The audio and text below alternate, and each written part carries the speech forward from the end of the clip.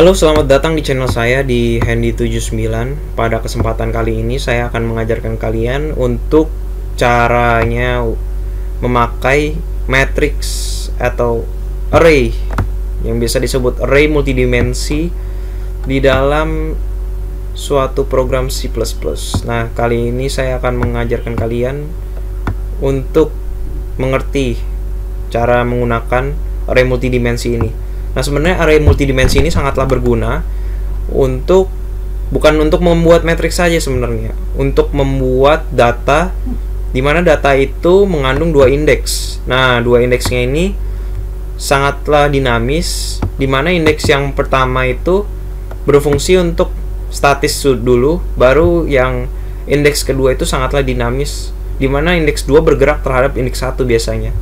Nah, tapi biar saya untuk kali ini akan mengimplementasikan matrix kepada matrix jadi array multidimensi ini saya akan implementasikan ke matrix nah untuk tahu lebih lanjut kita langsung run aja programnya supaya kalian tahu bagaimana konsepnya. Nah untuk pertama-tama kita akan menginput baris. Misalnya barisnya ada dua kolomnya ada tiga misalnya Nah, baris ke satu, kolom ke satu nilainya berapa? Misalnya kita masukkan 4, eh 3. Nah, baris satu kolom kedua misalnya 4. Baris satu kolom ketiga 1, baris dua kolom ke satu 2. Baris dua kolom kedua 4. Baris dua kolom ketiga 5. Nah, jadi nilainya akan seperti ini. Ada baris 2 kolom 3 betul dan baris satu ke satu kolom ke satu 3 betul baris satu kolom kedua 4 betul. Baris satu kolom ketiga satu betul. Baris dua kolom ke satu dua betul. Baris dua kolom kedua 4 betul. Baris dua kolom ketiga 5 betul. Jadi kita akan memahami konsepnya seperti tadi. Jadi pertama-tama kita akan menginput baris. Nah barisnya ini variabelnya v dan kolom ini variabelnya h. Jumlah sebenarnya ini jumlah baris ini jumlah baris yang ini jumlah kolom. Nah tapi di sini kita akan memahami konsepnya lebih lanjut dengan menggunakan perulangan for to do. Jadi for to do yang pertama ini berfungsi menahan sebuah indeks di mana indeks ini akan statis terhadap yang dinamis terhadap y yang dinamis. Nah y ini akan dinamis selama ini statis. Nah selama ini statis dia akan y yang akan terus berubah Nah, berubahnya Y ini akan uh, berfungsi untuk membaca data-data yang berbeda yang tersimpan di dalam indeks yang berbeda. Jadi data yang berbedanya ini tersimpan dalam indeks indeks X yang sama tapi Y-nya itu berbeda. Nah, dia akan menyimpan baru dia akan mengulangi itu lagi pada X yang kedua. Pada X yang selanjutnya juga dia akan mengulangi perulangan dinamis terhadap yang statis tadi di sini. Nah, di sini juga konsepnya sama for to do-nya di sini akan statis dulu terhadap yang dinamis di sini. Tapi di sini pertama-tama kita akan menampilkan matriks fungsinya.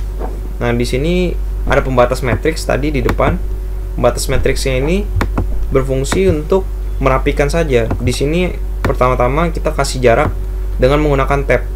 Nah, tab ini berfungsi untuk merapikan uh, tampilan. Jadi tampilan itu akan menjadi lebih rapi.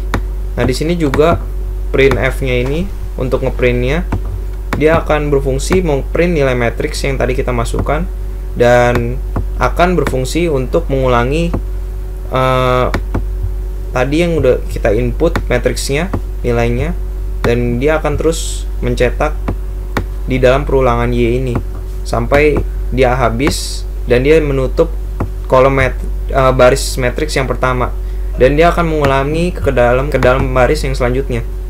Nah, baris yang selanjutnya itu sampai x sama dengan v. Nah, x sama dengan v baru dia akan menutup nanti. Jadi seperti itu konsepnya. Kalau kalian mungkin ada kurang mengerti, kalian bisa tanyakan langsung ke email saya. Tapi kalau misalnya di sini juga kalian ada yang bingung sama matrix, kalian juga bisa nanyakan langsung ke email saya atau kalian juga bisa cari di Google mengenai konsep dari matrix itu sendiri. Tapi kalau misalnya ray multidimensi ini konsepnya ini dapat digunakan dalam banyak hal. Jadi bukan dalam matrix saja kita bisa mempelajari ray multidimensi ini. Jadi kalau misalnya penjelasan saya ada salah kata, mohon maaf dan terima kasih karena sudah menonton. Ngomong-ngomong saya juga akan share source code-nya di link yang saya berikan di video di bawah ini. Jadi source code ini semuanya kalian bisa copy paste dan pelajari di rumah di tempat kalian masing-masing. Dan terima kasih karena sudah menonton. Jangan lupa subscribe, like dan komen ya. Makasih.